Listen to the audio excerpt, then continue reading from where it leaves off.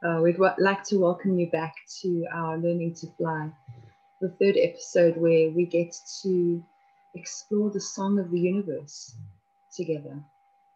The beautiful sounds and vibrations and harmo- harmonies and words that create music to our ears and open our hearts so that we can feel connected to the world around us and connect our bodies into this physical world, knowing that we're not alone.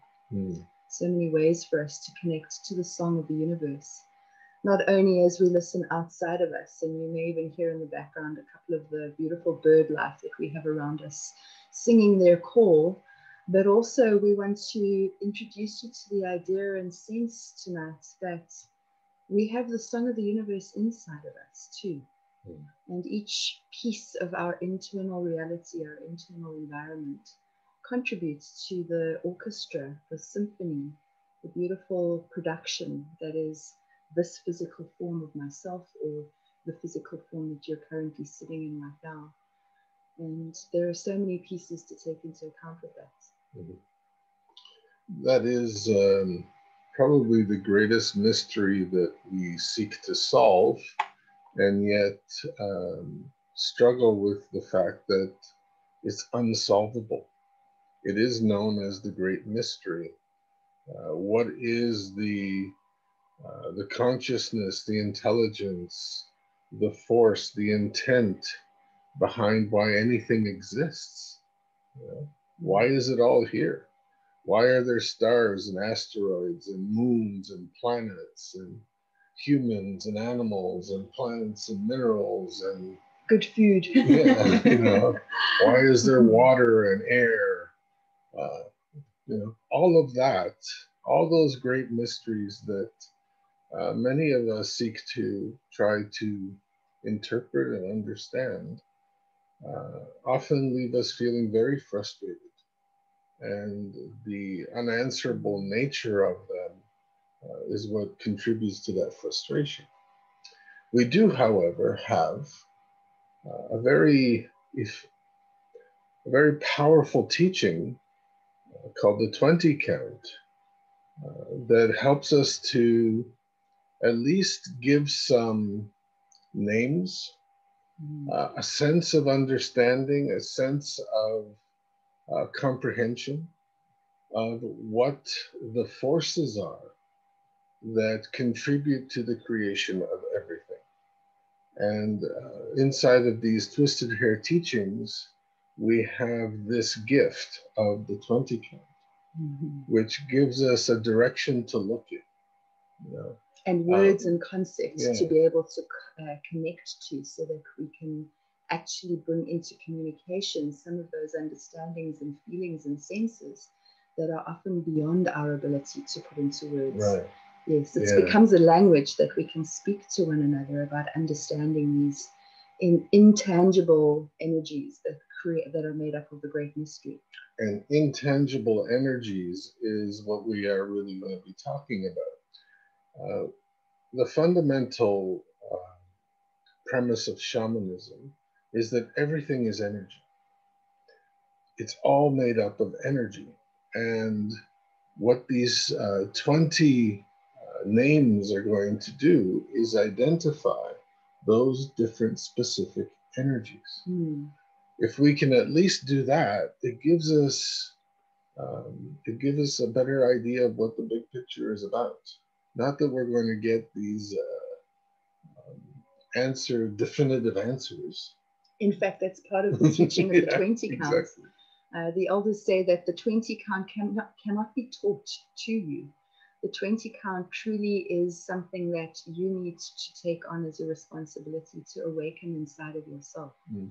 It becomes your um, your action to make a connection to each one of these different energies uh, so that you can learn what they mean from them directly and also what they mean to you personally.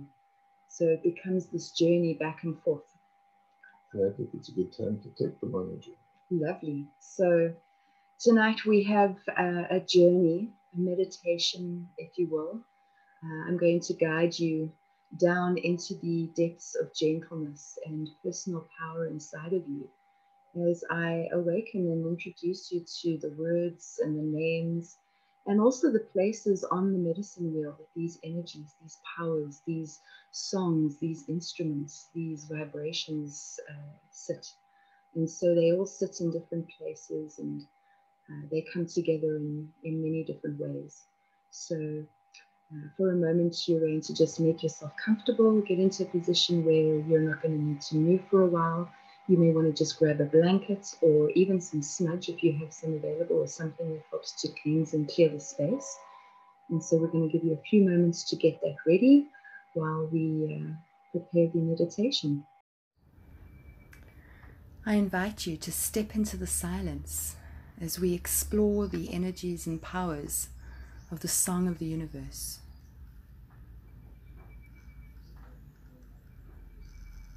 Take a few moments to make sure that you are comfortable. You may want to rest your hands loosely in your lap or by your sides. Gently close your eyes. Take a few slow, deep breaths. Relax your body. Release any immediate tension that you may be holding in your body. Make sure that your body is comfortable. No muscle exertion is needed in the way that your body is positioned.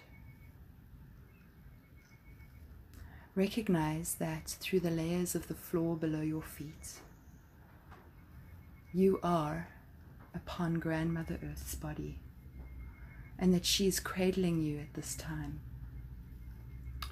Just breathe and relax into her arms.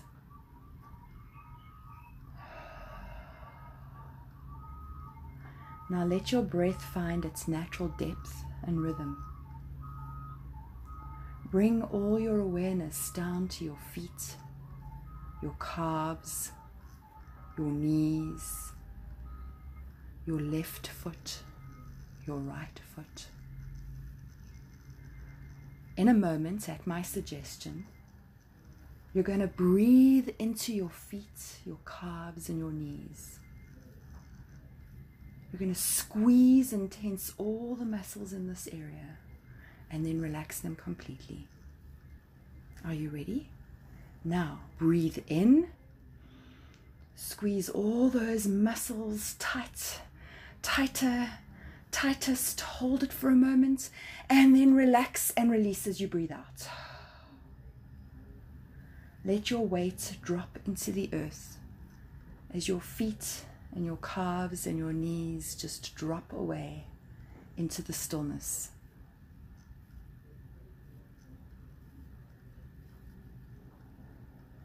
Now breathing into your hips, your thighs, pelvis. Breathing in and squeezing tight, tighter, tightest. Pausing for a moment in that action and releasing as you let your breath out and relax all the muscles in your body in your th- thighs, your hips, your pelvis. Next, breathing that air into your torso, all the vital organs and systems that move and sit and live in close proximity to one another within this main body part. Breathe in, breathe in and squeeze, squeeze, squeeze your torso tight, tight, tight. Hold it for a few moments and release and relax and let go. And allow your torso, thighs, hips, pelvis, knees, ankles, feet, toes, just let them drop into the stillness with Grandmother Earth. Breathing now into your arms, your elbows, your shoulders, your hands and fingers, your neck, brain, skull, head, face, all these parts that carry tension, pain, restlessness that drains them. And in your own timing, breathing into all these places, squeezing, squeezing, squeezing tight, tightly. Hold it for the moment. And then release and relax and let your whole body drop down into the warmth.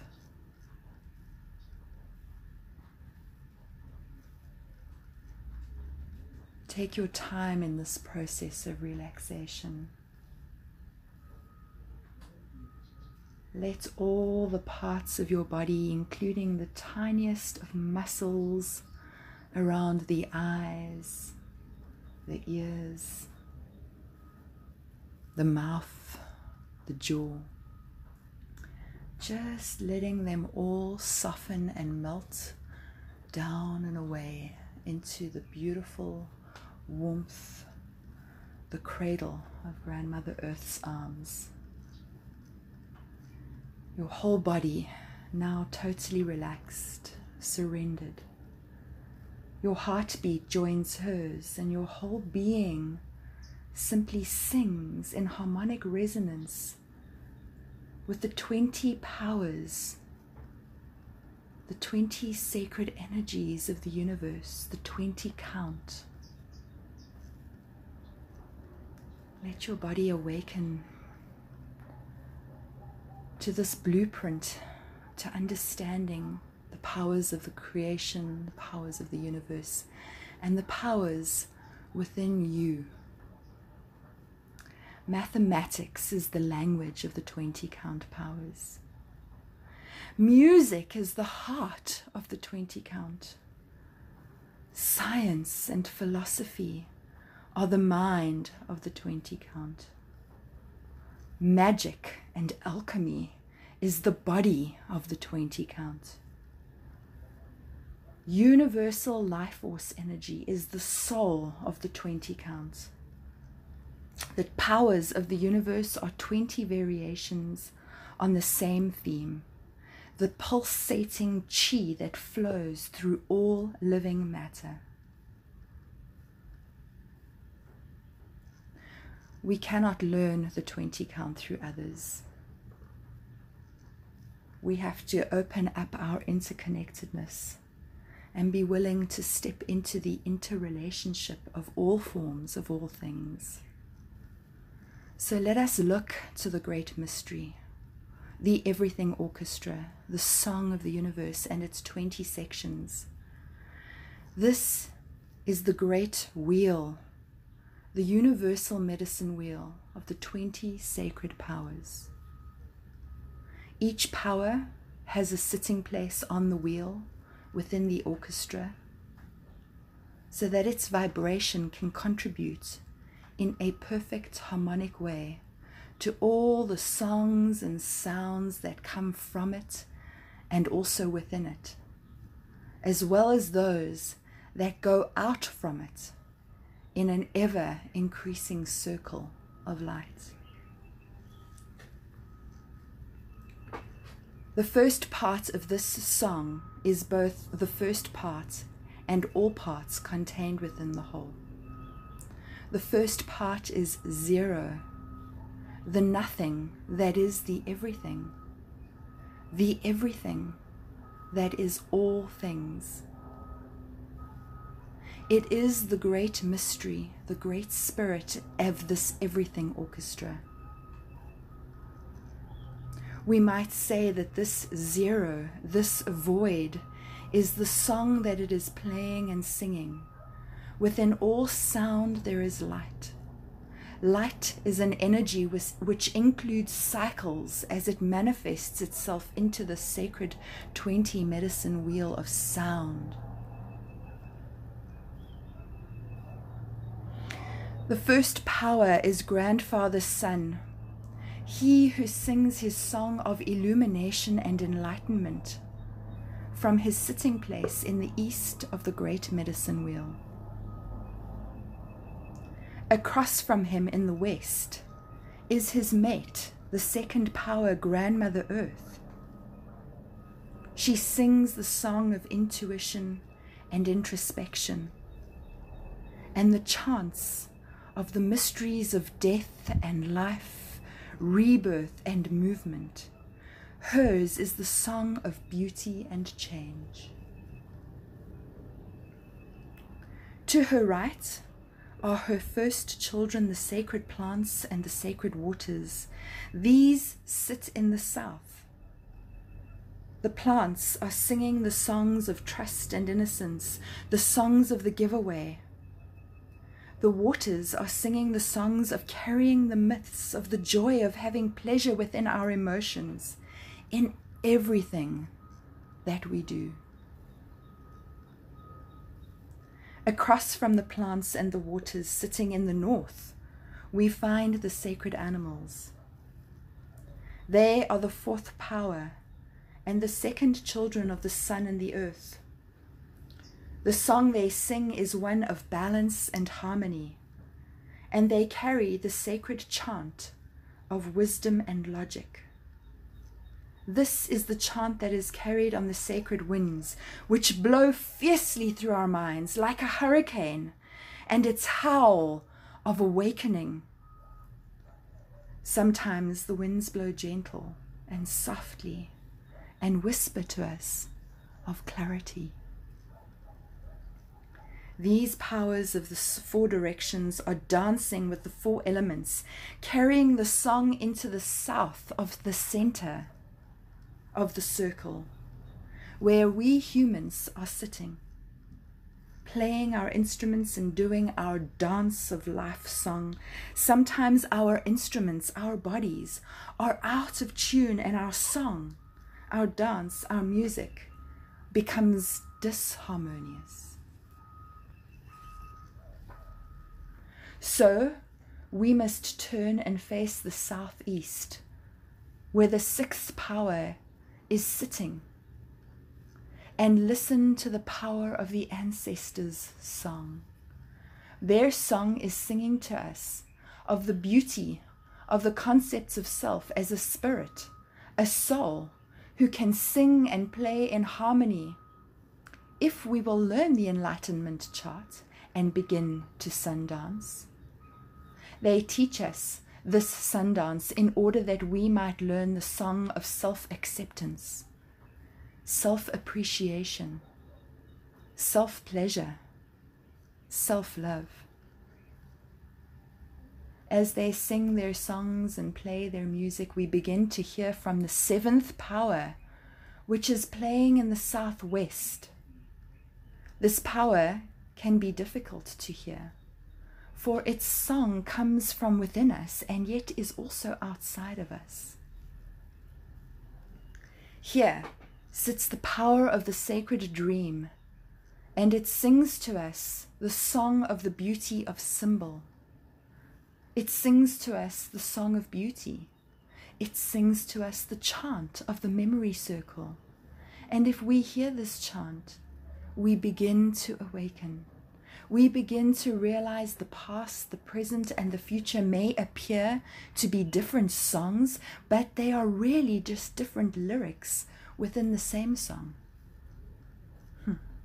To know all the words, lyrics, and melody of this song, we must turn to the northwest, to the eighth power, for this is the song of the circle of law. At first, we may be confused. We must listen closely, though.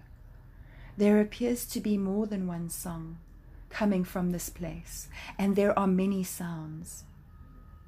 It seems almost disharmonious, and so it pulls us to begin to listen more closely. We look at the instruments that are being played by this power of the Northwest, and we see that they are really rules and laws. The sounds that they make are those of the sacred image and law chants. Together, they create the rules and laws of our sacred images, or the circle of law chant. This really causes us to listen because we are beginning to hear the harmonics carried within the southeast, blending with those of the southwest. They are like whispers within the second circle of law chant. Now we are really beginning to awake cut. This really causes us to listen because we are beginning to hear the harmonics carried within the southeast blending with those of the southwest. These are like whispers within the sound of the circle of law chant. Now we are really becoming awake and we begin to notice that we see the sound within the light and hear the light within the sound. Yes, confusing, but it seems to wake us up from the more common sleeping state. We begin to tune our instruments so that we can play in harmony with what we are experiencing. The longer we play, the more in tune we become. We begin to see and hear that within the circle of law chants is our book of life, and all the songs that we have ever sung, all the music that we have ever played, all the chants that will be our dream of the future song. This is our music that we play. We are playing and dancing almost in perfect harmony, but we're a bit off in our rhythm. We know this because we hear the sound and feel the percussion. We turn to look at this great power. We see that it is pure energy that is bringing this song. It is movement itself. It is the ninth power that is dancing and flowing with the rhythm of all the other sounds, catching it, tuning to it, aligning to the great choreography.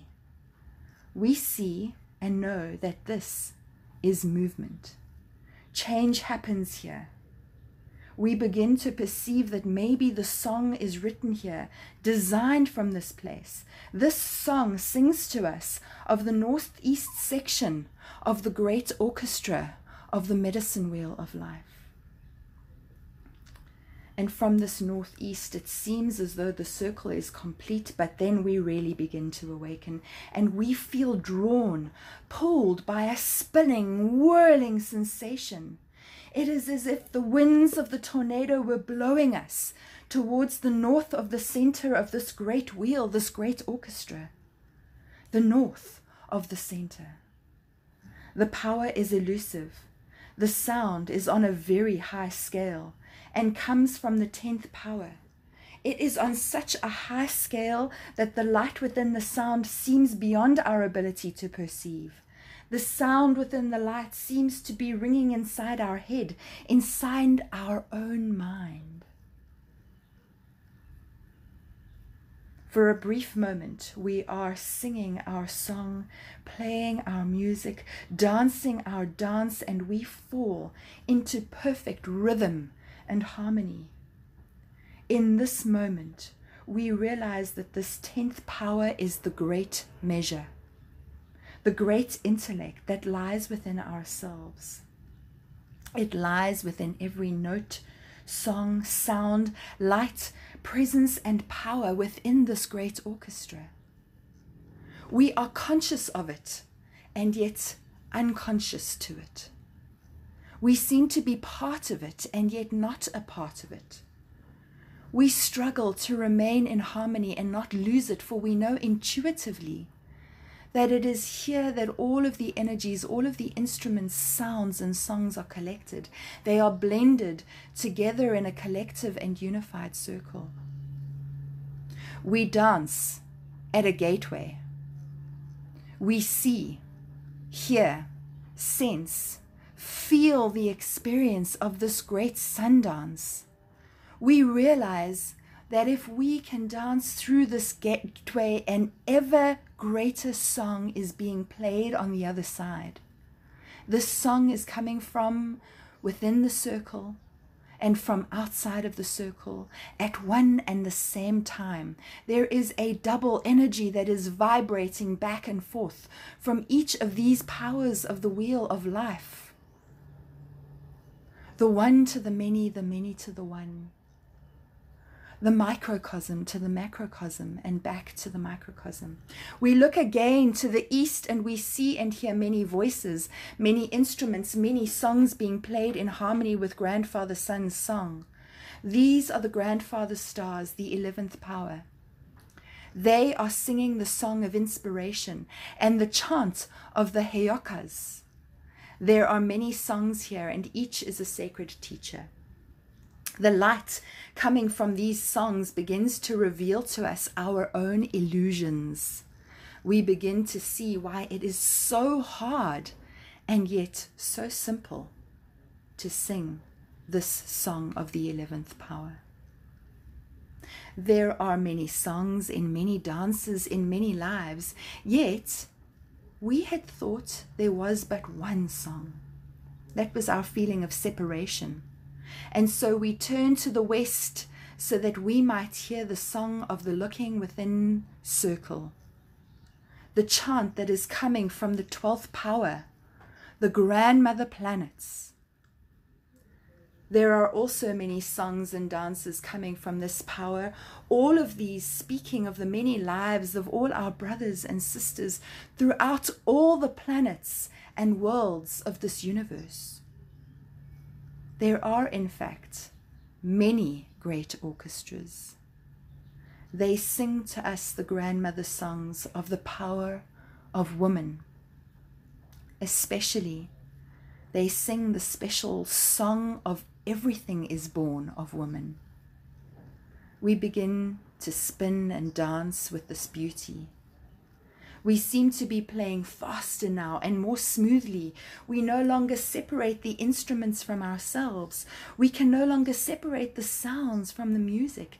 It is a part of us. And this now seems natural. Deep within our hearts, we realize that the song and the dance have always been there, and we sing for joy as we turn towards the south yet again. We begin to see and hear a sweet and gentle voice singing the beautiful lyrics of the heart of the plants. We realize that their song, spirit, energy, vibration is singing to us the song of nature. This is the 13th power, our Earth Mother. Her song is beautiful, for it carries the light and the spirit of all the sacred plants straight into the fibers of our being. Her song travels up the light paths of the umbilical cord of life straight into our hearts. Hers is the beautiful song of the Blessed Beauty Way chant. Our hearts begin to soar like an eagle on the fleeting wings of time as we spin towards the north to become the dance within the wings of the 14th power. We see that this 14th power swims as the dolphin and carries us through the rivers of life, through the eons of time this power flows into the great lake of memory and is Earth Father. He teaches us the dance of the snake so that we might be close to the ground and hear the song of the rock people. He teaches us to dance with the four leggeds through the flowers and trees so that we can hear the songs of the plant people. This is the world of magic. We feel the medicine of the sacred chant called How to Fly as the Eagle, and we realize that this is indeed the sweet medicine chant. Within it are the songs of the spirits of all of our animal brothers and sisters upon this sacred planet. Again, we begin to dance for joy. We begin to see through the eyes and ears of all of our brother and sister humans. As we see through their eyes and hear through their ears, we realize that they are like mirrors to us. In fact, everything around us, every power within this orchestra is a mirror. Each reflects back to us our own inner light. This reflection is carried on the sacred winds of the songs of our soul. And we can see this great mirror reflected back to us from the east of center of the circle of life. Here in the east of center sits the 15th power, the souls of all humans. It sings the gathering together circle song and chants the sacred rainbow chant of the Sundance Way. It sings to us, little sister, little brother, the look within yourself song. See the beauty of all that is. Open your eyes and look around you and see the many mirrors and the many powers. Look into and through the eyes of even one brother or sister, and you can see the whole universe.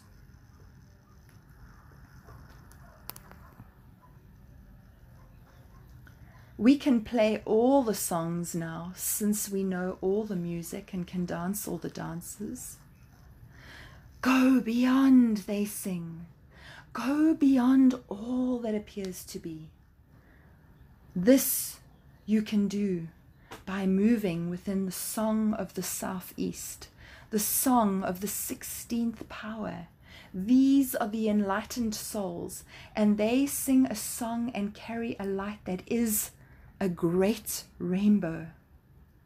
They sing the chant called the chant of the many paths.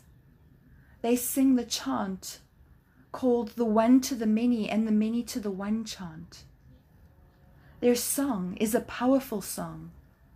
It says within it words like, You, little brother, you, little sister, you are the way, the light, and the truth. Look within yourself and find the light. Know that truth can be found from anywhere on the wheel, and that the only way is any way that leads to the center of the wheel. They begin to teach us how to find our way.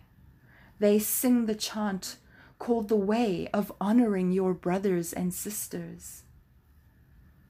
They play the sound of all the ways will gather together within the rainbow circle dance.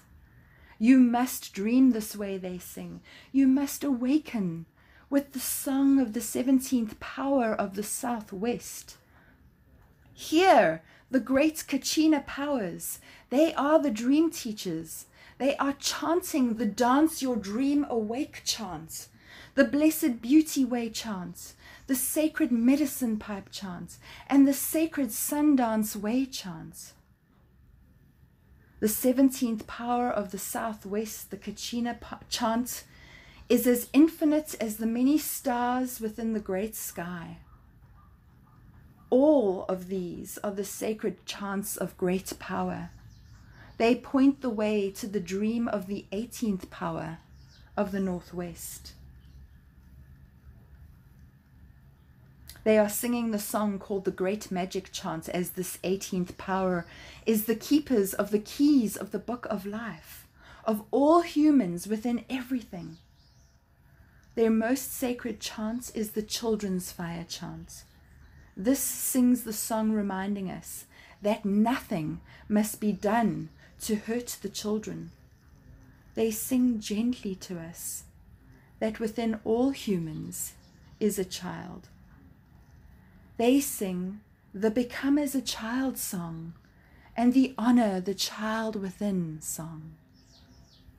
As they sing, they point us to the northeast, where we see a light that speaks with the voice of thunder. You know that this must be the 19th power. The 19th power includes the great Hokshido haze, and they are singing the cosmic chant, the chant of total balance and harmony of all things within the everything. There is a flash of lightning and a clap of thunder. In an instant, that becomes infinity. You are imploded into the sound of the lightning and exploded into the light of the thunder. You soar through the gateway of infinity, flow through time, space, and dimension, and awaken as you fall into the west of the center of the circle. You have met the 20th power, the great mystery, the great spirit, and you. We all things have now become one with the everything. And as you feel awakened to these beautiful powers, this chant of the universe, the song, the words, the lyrics, the sound, the light, the language, the heart, the mind, the body, and the soul of the 20 counts. You awaken, ready to begin the journey back into your body, into your awakeness and full consciousness, bringing you back with the knowledge, the wisdom, and the understanding of the 20 counts, of the song of the universe, of the song within you, the song from outside of you, the song that is you. And as you do, you step into a new dream, a deeper sense of being fully present in your body, clearer, stronger, and more empowered in the expression of yourself. And so you begin to hear my voice again. You begin to come back into your body. You begin to become aware of the light filtrating through your eyelids. And as you hear my voice counting you back into your body, you remind yourself of the numbers five, four, three, two, one, and you will awaken. Five, you become aware of stretching into your body, wiggling your fingers and wiggling your toes, breathing and stretching your body as you step forward into four. Breathing, letting the light filter through your eyelids even more. Stepping into three, hearing my voice even closer and becoming aware of the room around you and the sounds outside two, starting to wiggle and stretch and open and move your body until one, you open your eyes and find yourself fully awake, aware, alert, refreshed and rejuvenated and ready to tackle your next step. Aho. Now that you're back from your journey through the universe, and touching those energies inside of you, uh, we thought we'd take some time and go through each one of these energies and have a brief discussion about each one of them and how we can experience them, how we can identify them, and how we can better come to understand uh, the way in which we explore this great mystery uh, through the 20 count.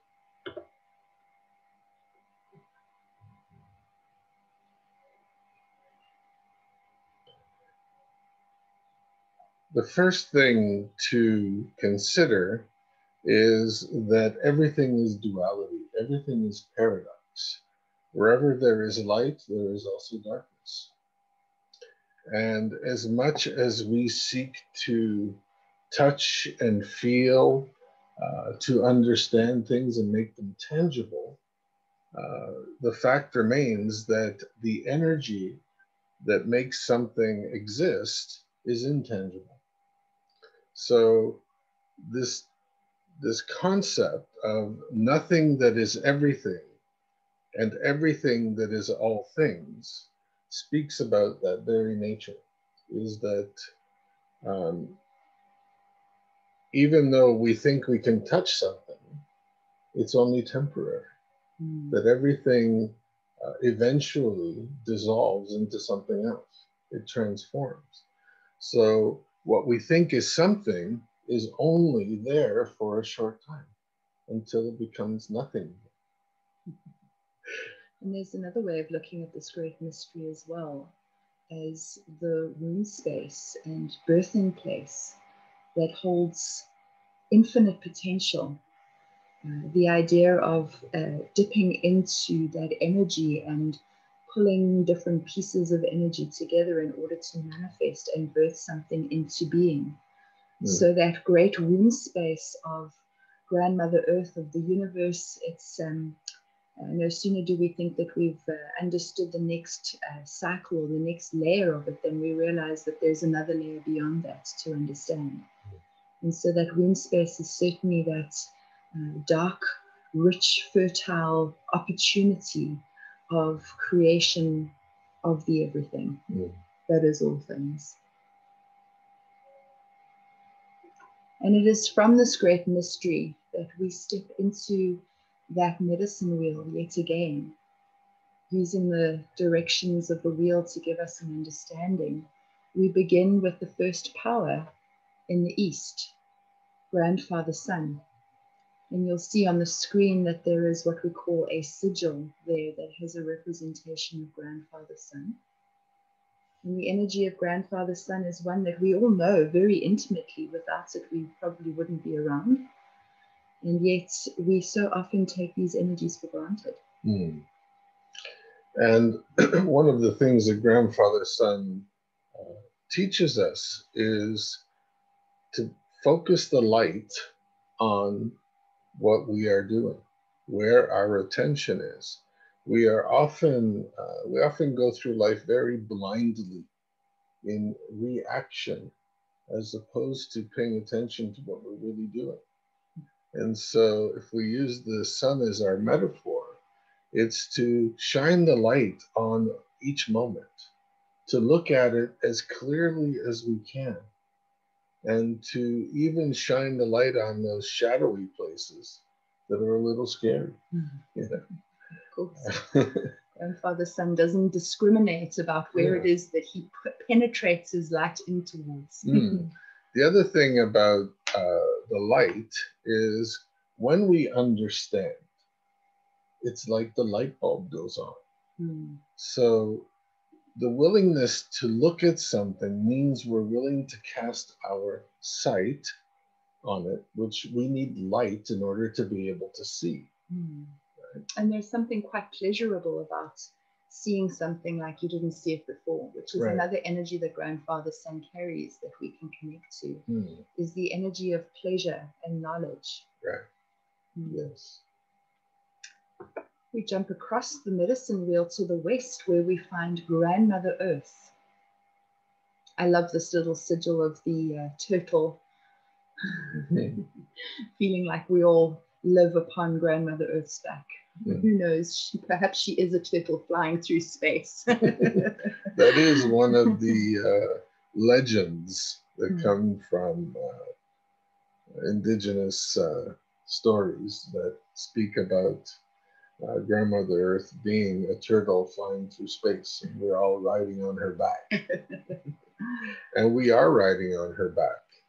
Uh, she is flying through space as she spins on her axis and revolves around the sun. Uh, and the sun is doing its own movement through our galaxy, and our galaxy is doing its own movement through the universe which can be a little overwhelming mm. when you mm. think about moving out towards that. So, Grandmother Earth teaches us about the willingness to go within, to go within ourselves, and to uh, to start nurturing the places inside of us that hold and carry our intuition. Mm. Yes, uh, within her body, she possesses everything she needs to give life. Mm. And within our bodies, as we identified in Children's Planet, that we are, this body is a planet. So within our bodies, we possess everything we need to nurture ourselves, to care for our needs, uh, to uh, engage with life to the fullest of our uh, physical capabilities. Hmm. You know, the other thing grandmother earth is, uh, if anything, is she's physical. Right. right? Uh, we are on terra firma and it's solid and it supports us. And upon it, we build our home. And it's the same thing about this home that we reside in. Mm. Is the healthier it is, the better our quality of life. Mm. Mm. We move down to the south where we find the sacred plants. The sacred plants teach us of trust and innocence. A seed pops open and expands and cracks itself through its shell and starts growing down into the earth and up towards grandfather sun. And so the elders tell us that the sacred plants were the firstborn of grandfather sun and grandmother earth's lovemaking. Hmm. And we know that from the plants, they give us our uh, nutrition, our nourishment. just think about the grasses and grains that bring us um, such sustenance and the fruits and flowers and even herbs for healing.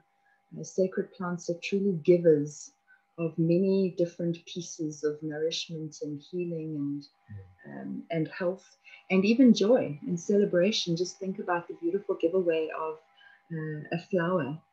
We often pick flowers and put them into our homes to bring lightheartedness and joy into And- our lives And beauty. and beauty, of course. The other thing um, that struck me as you were sharing about the plants is that trust and how a gardener will take a seed and push it down into the earth to ensure that it will uh, germinate and sprout into the plant that they desire to grow. But nature doesn't do that. She drops these seeds, or the plants drop these seeds on the earth. There's there is no force driving them into the ground. There's only a trust, a trust that the earth will receive that seed, nurture it, care for it, give it what it's needing, including uh, the light of the sun and the water and oxygen. And And minerals from the earth. yeah, and that trust from the plant to know that it will reproduce itself without having to uh, insert much force or energy like we humans tend to do. And, and I think that's a beautiful metaphor to, uh, to take into account in our lives and pay attention to how we force, we try and force things to happen Or Um, grow. or um, grow before their time. mm, You know, we try to accelerate things instead of trusting in the essence of what is growing, that it has its own timing. mhm. Mm. Hmm. And so we now look to the sacred animals up in the north of the medicine wheel. And for those of us who are animal lovers and who surround ourselves with animals in our home, we know how receptive animals can be to energy and to sound. Just think of the four leggeds with their feet upon the earth, feeling into the vibrations that we're often numbed out to. Uh, sacred animals know how to live in balance and harmony in the world. An animal will not usually feast more than it needs to gluttonously on uh, a certain plant just because it tastes good. They move around and feed themselves and they contribute in an equality to the, the natural balance of all things. And this is a significant lesson that we can learn from them as human beings. Another thing about animals is that they all know um, naturally how to live with one another in this symbiotic relationship and how they govern each other's uh, growth.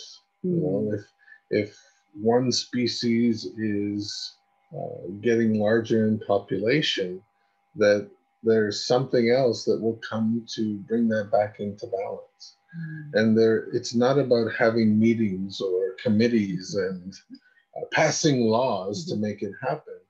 It's a there's a natural uh, intuition and knowing that uh, things need to shift and change, and there's no bad feelings about it either. You Mm. know, if all of a sudden the population of rabbits goes skyrocketing, then following behind is the population growth of, say, foxes and coyotes and whatever else feasts on rabbits. Depends which part of the world you're Right, in. You know, and then eventually there comes an equilibrium, and uh, even though the the predator's population is growing, it can only be sustained for as long as there's enough food. And then it finds its naturalness, and there's no judgment about that. Mm. So I think one of the things to take into account from the animals is to accept life as it presents itself instead of having judgments and opinions about it. Mm. You know, how often do we have uh, our own point of view and we think it's the right one. And we're stuck there. Right. Yeah. We move to south of center, and this is where we find sacred humans. Now, we always like to joke about this. This isn't where we find scared humans, although many of us do feel scared about the ways in which we don't connect to the world around us. And also, most especially, how it is challenging uh, to connect and communicate with our fellow humans. And of all the worlds and all the energies that we can understand on this planet that we live upon, humans are usually the ones who seem to be the most out of balance. That's mm-hmm. because we're determiners of energy. So we do tend to make choices and decisions that impact not only ourselves, but also our environment. And so here in the 20 count, this sacred human's power is the one that is teaching us how to find our hearts, how to speak from our hearts, how to open our hearts and become vulnerable with one another. Just as the sacred humans were teaching us how to accept without judgments or comparison or attachments. This is what the sacred humans are teaching us that we can aspire to become. Hmm. Um, another thing about the sacred humans is in our determination that you spoke about, where we make choices, those choices have a far reaching impact. Mm. And if we look at the impact we've had on this planet, on other species, on our environment, uh, it hasn't all been something to be proud of. Mm. And that's because of that disconnection we have from the rest of the world. When we have the power that we have as human beings, it's easy to abuse it. We have the ability to alter the course of life. And that comes with a responsibility. Mm. And I feel that's the, the teaching here for us is to be accountable, to be responsible for every action we take and to always ask ourselves is this of mutual welfare and benefit for myself, for life, and for others? And if the answers are yes to each of those three things, then do it. But if it's questionable or there are some no's in there, then I would uh, I would say to stop and reconsider what you're doing. Mm. I'm also just noticing that uh, at five with sacred humans, uh, we have these other four powers standing below us that we can use to find that uh, that health or that uh, effective way of making a choice and decision going forward. If we're willing to see what needs to be seen, not the things we want to see, if we can trust in Grandmother Earth and, as you were saying, just trust in the growth and development that we choose, if we welcome the energy of the sacred plants to trust, to, to question the choice that we're about to make, is it going to be nourishing and feeding the children of Grandmother Earth?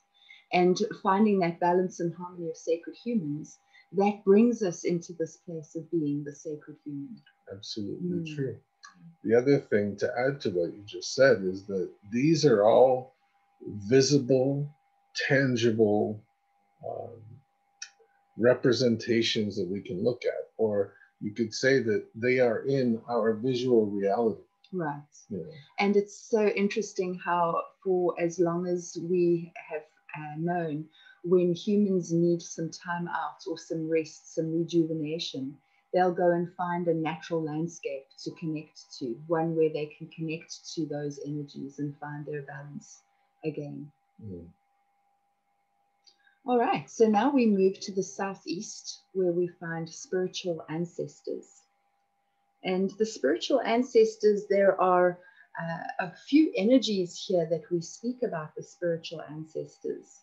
We speak about the Tililikwe, which are the little people, fairies and gnomes, sprites, some of those energies that we perhaps used to play with and uh, see when we were children, but as we grow, we tend to disconnect from. Tashilahe, this is the energy of all our personal um, spirit selves, all the, the lifetimes that we have had of power, of beauty, of being the sacred human. The Tungashila are our blood relations. These are our ancestors, perhaps no longer in physical form, uh, that we connect to through prayer and that we connect to through our blood. Uh, they are of our family bond that have come before us, and even those that are yet to come. One of the beautiful things that I love about this teaching of spiritual ancestors is to acknowledge that whatever work we do as a sacred human on this planet in this lifetime, that we do it uh, with the intention of uh, bringing healing to the generations, the seven generations that have come before us, and the seven generations that are yet to come. And this speaks to those spiritual ancestors. The Omatakwiyasan, for all our relations, all those awakened selves.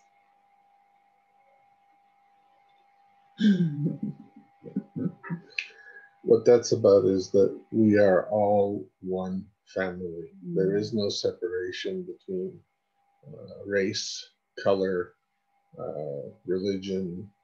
Uh, we are all of one family. We all come from the same source. And that is, for me, what uh, the spiritual ancestors are reminding us to always uh, feel that connection. Um, that, you know, when when someone that was close to us has passed on, um, it's often said, well, you know, they're still in your heart. Mm. And there is a truth to that. Once we get past the grief of the loss, that they're no longer physically here, there is still a presence of that person that can be felt.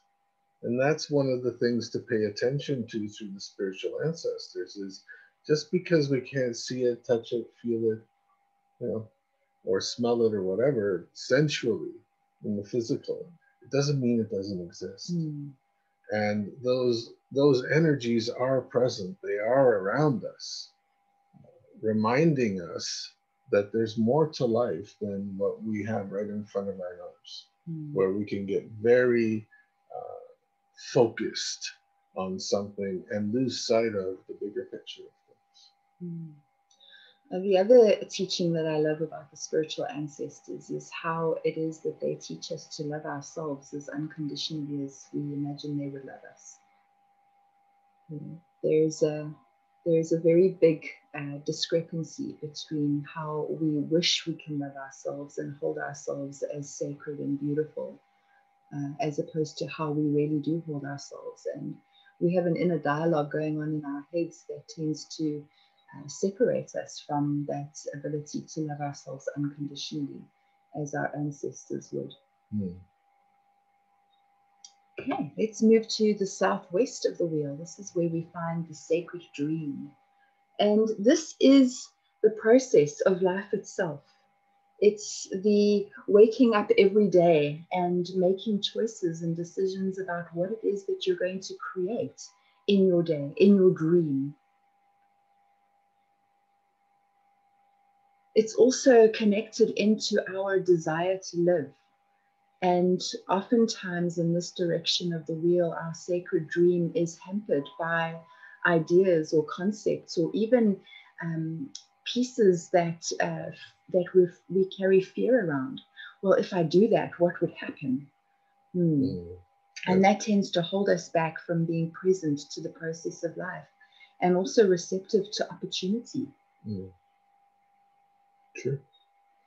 Um, the thing to consider here is that our reality is happening because of our choices.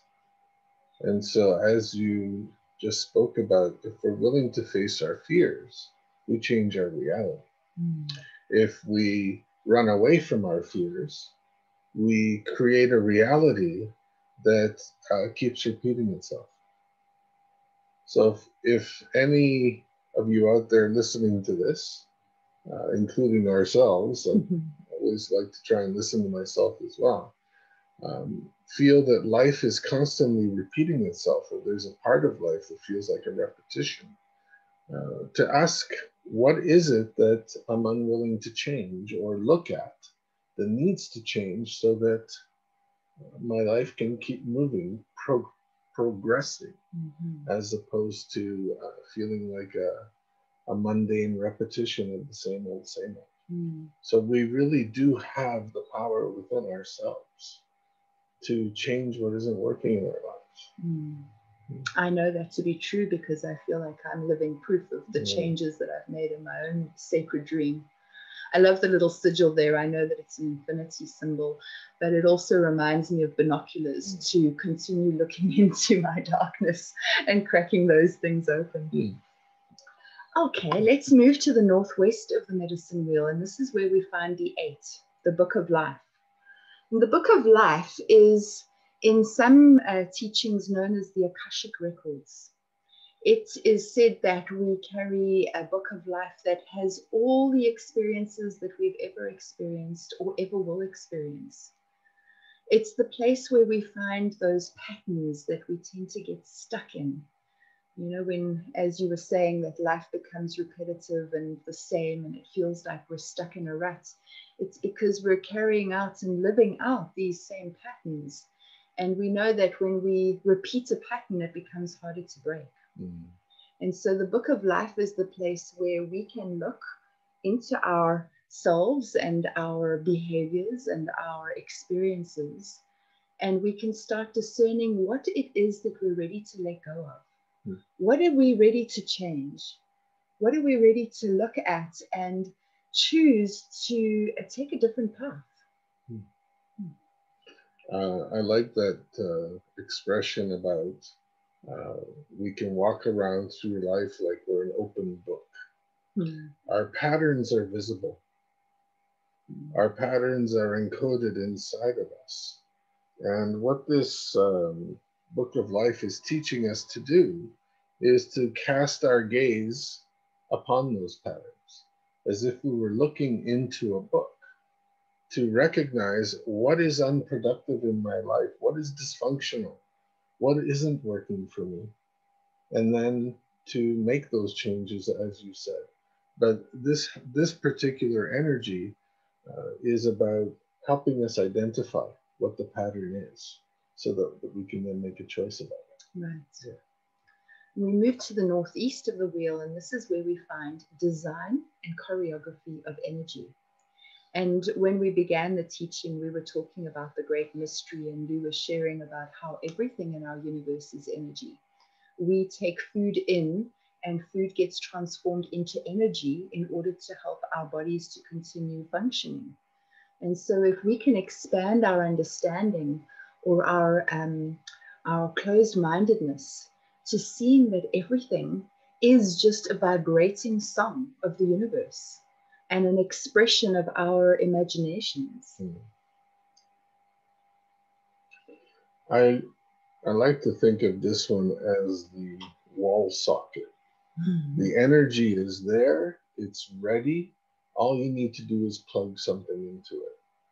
And energy is absolutely everywhere. You know, one of the uh, things about uh, a man named Tesla that he was able to tap into that. And he devised a way, apparently, of drawing energy from what was considered to be thin air. Mhm. You know, that he understood this principle Mhm. and was able to design and choreograph certain things that would help connect to that energy. Right. Well, we can do that for ourselves.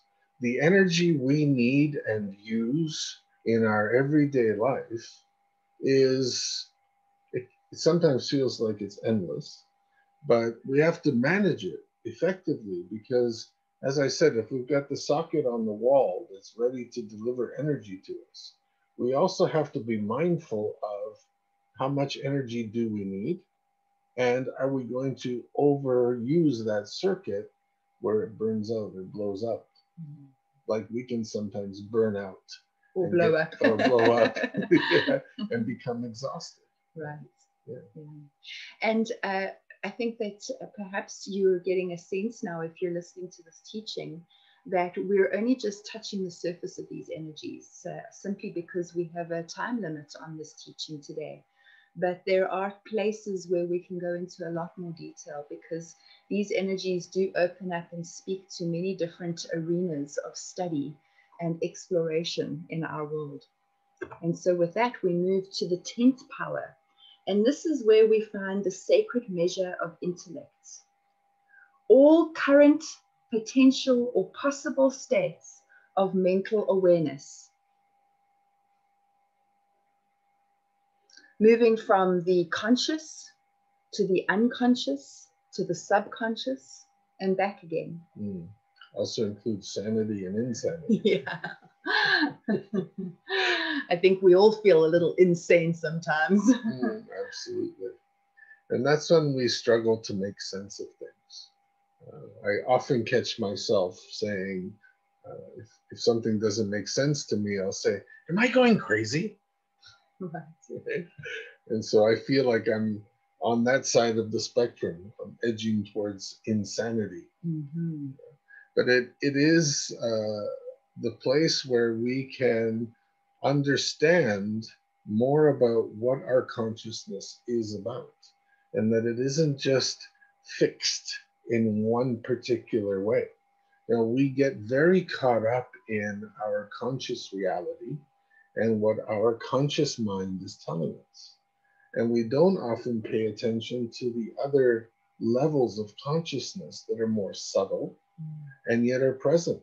You know, we do have access to our subconscious mind where we uh, can imagine things. We, we, see things in pictures and um, we tap into a part of our creativity there a part of a deeper understanding of reality that is more spoken through the concept of metaphors mm. versus the conscious mind, which likes to speak through words and concepts and ideas.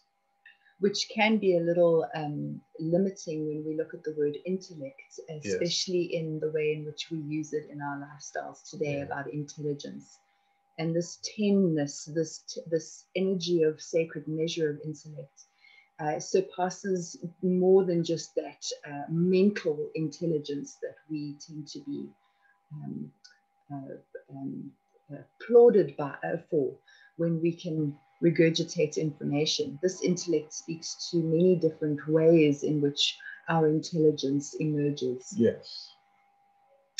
Lovely. So we move into what we call now the Nagual powers of the 20 counts. And we're going to go a little faster with these energies uh, simply for our timing. But they're also energies that can be a little bit more challenging to touch.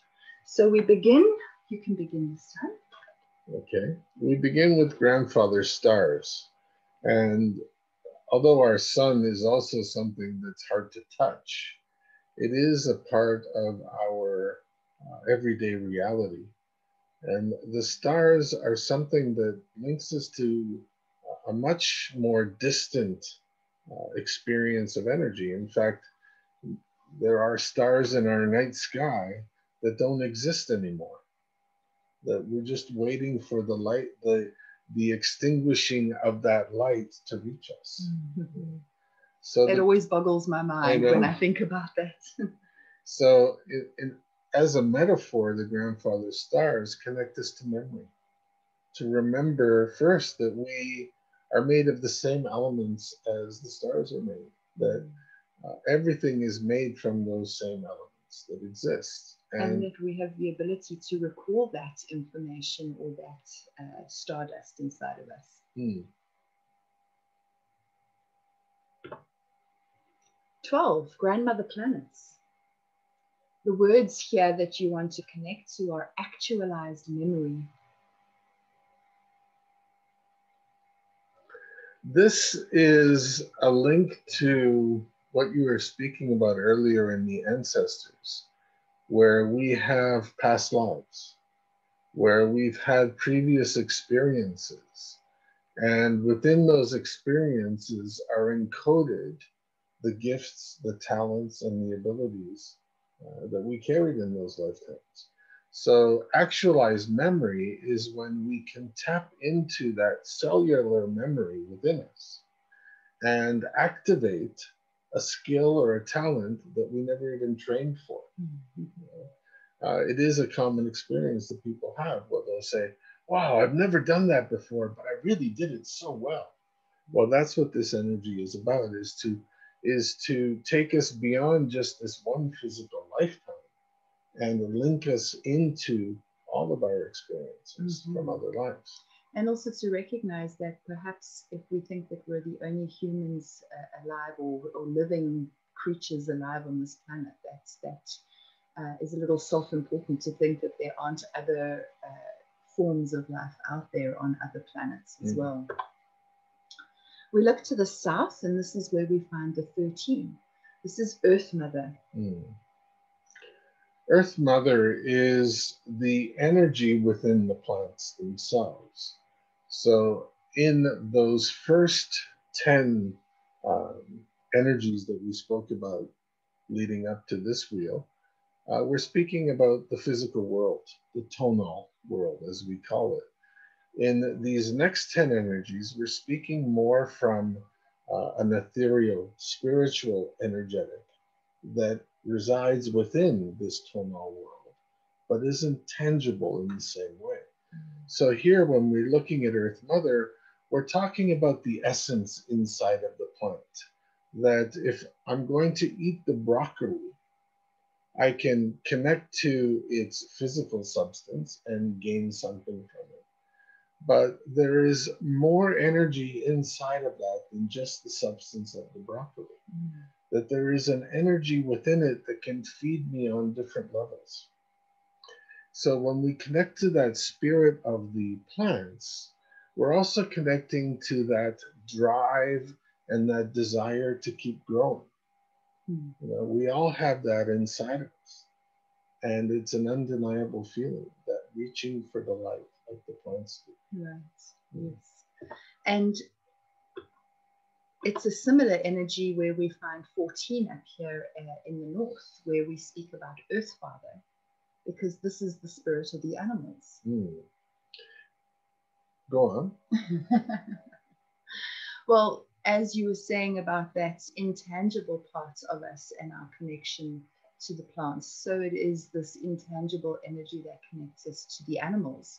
And this energy teaches us how to uh, how to be in flow, how to find more happiness, more health, more harmony, more humor in our lives. The spirit of the plants teaches us um, so many gifts and things. In fact, there's a whole uh, paradigm called the African medicine wheel astrology, where we look at the essence of the uh, the uh, the energy of the animals, uh, so that we can call them into our awareness and we can walk with them and their gifts, their giveaways. Hmm. We move to 15. This is where we connect to the souls of all humans. We could also say that this is like connecting in or plugging into the universal mind. Hmm. It's like the matrix here. that our consciousnesses, to use that as a plural, uh, within humanity are all linked. We're all plugged into each other. It's just we have to tune into the frequency to receive what is being communicated and shared. And we do that often and regularly, but it's not done consciously for the most part. And so here, if we can acknowledge that we are connected and linked, uh, you could say telepathically as, as one way of describing it, then we can do it more consciously and pay more attention to those subtle messages that we get from each other. Yes. Yeah. I think this also speaks to what many people feel called to become healers, is where uh, they feel like they want to give back to other humans. And instead of trying to be misguided and trying to heal another human, uh, being able to connect into these subtle energies of that morphogenetic field of humans is a, a far more productive way of connecting in. Mm. We look now to the southeast, and this is where we find the 16, the Akalodahe. We understand these energies to be the enlightened ones. Mm. Within our nature, we seek to better ourselves, to grow, to understand more, to uh, to feel more. Uh, we do that in so many different ways, and one of the elements there is also empathy. Mm. Uh, as we learn, as we experience through uh, a lot of a lot of things that aren't really considered uh, joyful or pleasurable experiences, more our pain and our suffering. Uh, as we come through those, we come with greater gains and understanding of the challenge we have as human beings. And so when we look here at the Akalodahé, we're looking to, uh, to rise and expand our consciousness to accept that everything that happens is a powerful teacher. And the more we can accept that, the more we can drop the burden and find that journey of enlightenment, which is really letting go of our attachments mm. that keep us stuck in pain and suffering. And to allow the pain and suffering to be the teacher, knowing we're not going to escape it. It feels so simple. I know. Okay, we look to the southwest, and this is where we find the Kachina Kachinahe. So at the seven where we found the, the sacred dream, here the Kachinahe are known as the dream teachers. And they can often represent um, to us something that we're working with or something that we're looking at. So a dream teacher may be something that presents itself to you in a dream, mm. like a snake, and what your relationship is with the snake, and what is being shown to you about the snake that could be a representation of one of these uh, these symbols of the dream. Mm. Yeah, this energy here is all about symbology and metaphor. Mm. You know, you spoke about having a dream of a snake, and for one person, dreaming of a snake might feel terrifying, and for another person, it might be uh, uh, invigorating. Mm-hmm. You know? So it's it's not about having our own interpretation of it, but uh, and and and imposing it on someone else. It's about finding our own interpretation and using it in our own lives. Uh, we often think that uh, because we understand something, everyone else has to see it the same way. So here, the Kachinahe are teaching us to pay attention to the symbology of life, all the various things that come across our path, and to find our own understanding of that the more we understand that, the more we can uh, create the change that we want in our lives, or the more we can start to manifest the things we have that we want to have in our lives. Right. We look to the northwest where we find the Shulamadahe. I know this is quite a mouthful. Shulamadahe. But these words are uh, heart sounds and they do connect us beyond what we think we need to understand. Remember, as I said to you in the beginning, that uh, the one way to learn these powers is to ask them directly to be our teachers. And so here, the Shulamadahe are what is what are known as the magical teachers. They are the keepers of the book of life, and they are the guides that we can call upon to help us to negotiate and navigate those patterns that we come to realize are no longer serving us mm. and help us to look through that to find a more productive way mm. or a more efficient way or a more uh, supportive way. Mm. I I like uh, to look at this from the magical perspective mm. because one thing I, I find fascinating about patterns is how magical it is to be able to change a pattern that from one moment to the next, I can switch and no longer be stuck in a pattern. And, and that can feel like a magical transformation. Absolutely. You know, how often have you seen somebody and they come up to you and they haven't seen you in a while and they go, Wow, you've really changed. How did you do that? You know? because it seems like a mystery or a magical thing that you did. Because I called on my Shulamadahe help. All right, let's move to the northeast, the 19, the Hokshidahe. The Hokshidahe is what we know to be our higher self, that breath of life, that whisper in our ear that says, Yes, you can do it. Change needs to happen. All you need to do is take the next step. although sometimes that can be very scary. it might say change needs to happen or change is going to happen anyway. right. So catch up to it. yes. I think that's more of the truth here. Uh, the the other thing about the Hochida is that um, it doesn't get caught up in stress or resistance or worry. Hmm. It its uh, intention is to help us see beyond that, to accept that that's going to happen anyway, but to get on with it. You Mhm. know, as uh, my teacher used to say, bitch, moan, and complain all you want about it, but do it anyway. And I think that's what the Hochida would like to whisper in all our ears and get us to do. exactly. Mm. All right, and we move to the final power, and this is the 20, the Wakan Tanka. You may have heard this word being used many times, especially within shamanic circles, about the Great Spirit, the all that is, the all that was, the all that ever shall be. Mm. Uh, this is the energy of the god, the goddess. Uh, It is the energy of the great mystery that we began this teaching with, and that we come around full circle to end the teaching with.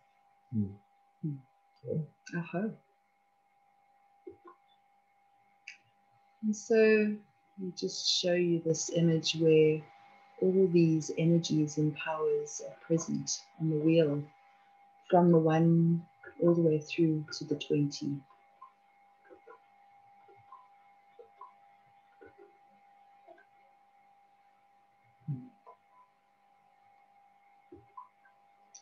And we bring this teaching to its completion, as usual, with a personal ceremony.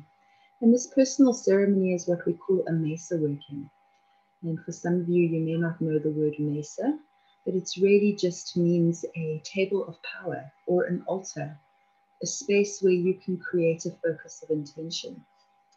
And so, although we um, we uh, had to move through this teaching fairly quickly, I think you can have an understanding of just how huge it can be. And so, here, this mesa working opens the door for you to be able to create a space that you can work with these powers of creation, but also that you can look for guidance in how to bring an aspect of your personality out that was perhaps repressed. Or perhaps you're finding that you're coming up against a specific fear or a concern around uh, financial abundance. Uh, whatever your intent is, that you can create this mesa working with. And you can take these uh, sigils, these numbers, these energies, these powers, and you can go and collect little pebbles, little stones, and you can draw the energy onto each of these stones as a, a way of connecting into them and represent these stones by laying them out around your mesa. So there's a couple of uh, examples there or suggestions that you can use to do a mesa working. It's a different way of praying and also a way of creating an intention to work with that you don't always have to sit and pay attention to. And so we wish you happiness in your song of the universe and the way in which you can uh, open up the doorways, the portals to all these powers and embody them within you. Oh, Oh.